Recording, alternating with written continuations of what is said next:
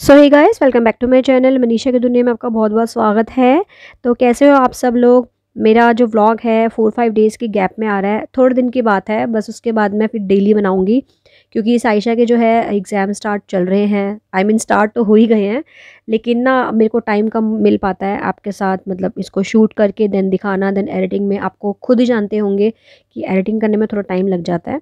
तो मैं वो सोचती हूँ कि वो टाइम थोड़ा बचा के फ़िलहाल बच्चे को टाइम दिया जाए, उसके बाद तो मेरा व्लॉग्स तो बनता ही रहेगा।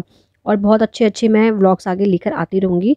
बस मुझे आप लोगों का सपोर्ट चाहिए है और प्लीज़ प्लीज़ अगर आपको किसी भी चीज़ में कोई मेरी ब्लॉग में प्रॉब्लम आ रही है तो आप बेझिझक होकर बोलिएगा और आप चाहते हैं मैं किस चीज़ में ब्लॉग बनाऊँ तो वो भी आप बता सकते हैं।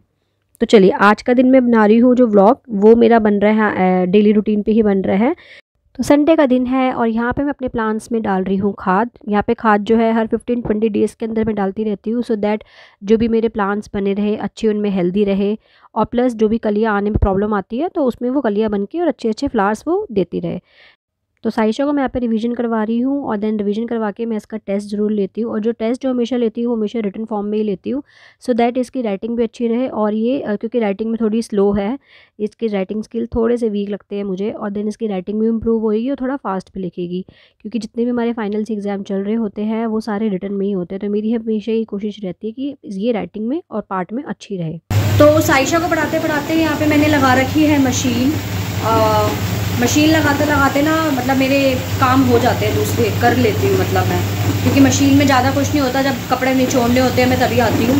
फिर जैसे टाइम मिलता है, फिर मैं साइशा का रिविज़न करवाती रहती हूँ। तो बस यहाँ पे मेरे कपड़े धुल चुके हैं और यहाँ पे मैं इनको सुखाने के लिए आ गई हूँ अपना बार बालकनी में। तो आज धूप इतना तीखी नहीं आई ठीक ठीक आई है।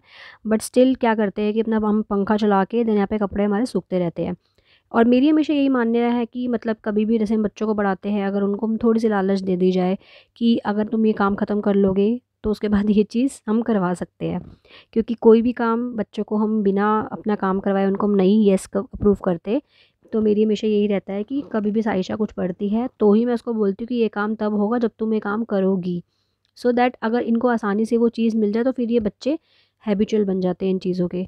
तो यहाँ पे आ, मैंने इसको यही बोला था कि जब तक मैं कपड़े वगैरह धो रही हूँ तब तक तो रिवीजन कर अपना उसके बाद हम फिर देखो मैं शाम को कहीं घुमाने लेके जाऊँगी। अगर मैं शाम को नहीं लेके जा पाई तो नेक्स्ट डे ज़रूर लेके चलूँगी। साइशा के कभी भी फाइनल एग्ज़ाम होते हैं हर साल तो मैं उसको ये नहीं बोलती कि तू कुछ में तो इन्जॉय कर, सारा दिन उसको पढ़ाने में नहीं रखती। क्यों? क्योंकि अगर मैं सारा दिन पढ़ाऊँगी तो वो बोर हो जाएगी और फिर वो सारा कुछ भूल भी जाएगी। तो पढ़ाने के टाइम के बाद हम थोड़ा थोड़ा उसको गैप देना चाहिए बच्चे को सो दैट उसको भी अपना फ्री टाइम मिले। क्योंकि देखो, जब भी हम अपना कुछ काम करके थकते हैं, हम भी थोड़ी देर कभी अपने फ़ोन में लग जाते हैं, कभी कुछ हम गॉसिप कर लेते हैं। वैसे बच्चों को भी टाइम देना बहुत ज़रूरी होता है, क्योंकि मेरे दिमाग में कभी नहीं रहता कि मेरी बच्ची क्लास में फ़र्स्ट है या सेकेंड आए मैं बस ये समझती हूँ कि बच्चा जो पढ़ के आ रहा है, उसको अच्छी तरह क्वेश्चन पेपर अटैम्प करके आए। बाकी उसको फ़र्स्ट पोजीशन आनी सेकंड आनी थर्ड पोजीशन आनी, वो भगवान के हाथ में है। और ना मैं उसको कभी ऐसा फोर्स करती हूँ कि तुझे फ़र्स्ट ही आना है क्लास में। मैं बस ये चाहती हूँ कि बच्चा स्टडीज़ में भी अच्छा रहे और अपना टैलेंट जो भी है उस बच्चे का वो भी इम्प्रूव होता रहे। मेरी भी हमेशा यही सोच रहती है कि साइशा चाहे स्टडीज़ में नॉर्मल रहे एवरेज रहे, लेकिन जो उसका टैलेंट है, चाहे वो डांस हो, चाहे वो सिंगिंग हो वट्स तो वो उस चीज़ को निखारे। बच्चे पे हम जितनी स्ट्रिकनेस डालेंगे, बच्चा उतना और पढ़ाई से भागेगा। तो चलिए खैर ये रही बच्चों की बात। अब मैं यहाँ पे जो आपको दिखा रही हूँ ना ये आज संडे का टाइम है तो हस्बैंड के साथ मिलके यहाँ पे मैंने एलमीरा का रिलोकेट करा है। तो वास्तु के अकॉर्डिंगली मैंने एलमीरा की अपनी जो पोजीशन है वो चेंज करवाई है। आई I मीन mean, करवाई क्या है साथ में लगी भी हूँ। तो बस जैसे अलमीरा मैंने हिलाई तो सामान तो उसमें भरा हुआ था। तो थोड़ा वो जो लिपेटे हुए लिपटे हुए जो कपड़े थे वो सारे खुल गए और मेरा काम थोड़ा यहाँ पे डबल हो गया। लेकिन डबल के साथ साथ मुझे ये भी लगा है कि मतलब थोड़े मेरे जो विंटर्स वाले जो कपड़े हैं जो थोड़े हैवी पहने नहीं जाते अब वो, उनको मैं उनको जगह पे रखती जाऊँ। तो विंटर्स का टाइम तो चला ही गया है समझ लो ऑलमोस्ट तो मैं क्या करती हूँ, जितने भी सारी अलमीरा में कपड़े होते हैं या बच्चों के होते हैं तो उनको मैं एक एक दिन करके ही समेटती हूँ।